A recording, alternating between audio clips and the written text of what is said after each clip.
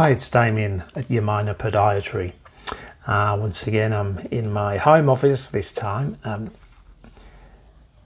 one of the things that a lot of people have been doing, I've noticed uh, through the lockdown in July, was you know they've got to get outside for their exercises, and you'll see people hop out of the car and start stretching before they go for a walk. Now, unfortunately, we're starting to see a lot more evidence that uh, stretching is actually not good for you before you exercise. Um, it doesn't improve your performance, it doesn't improve muscle flexibility, and it doesn't reduce your risk of injury. That's what the evidence says. Uh, one of the things that is important for you to do before you exercise, though, is to warm up. You know, for five or six minutes before you start your exercise. Now, warming up means uh, maybe a brisk walk or a bit of a jog or even sort of some lunge walking, which will get the blood flowing in your muscles.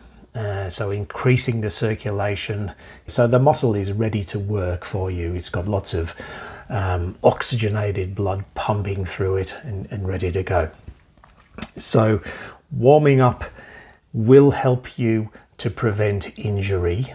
And then when you come to the end of your exercise, that's the time to do your stretches.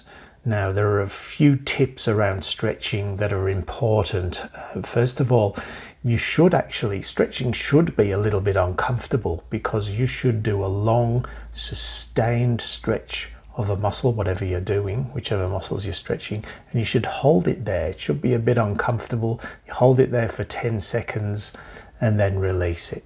That way, you will get an increased range of motion, and the muscle will eventually, and this will take some weeks, will eventually elongate and help you stay flexible. If you stretch too much or you don't do it properly, you can injure yourself.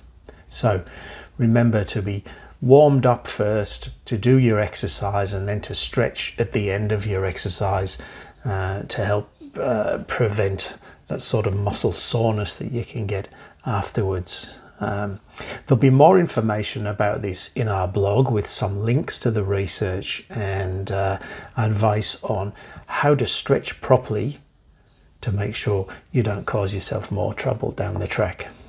Uh, take care. Bye for now.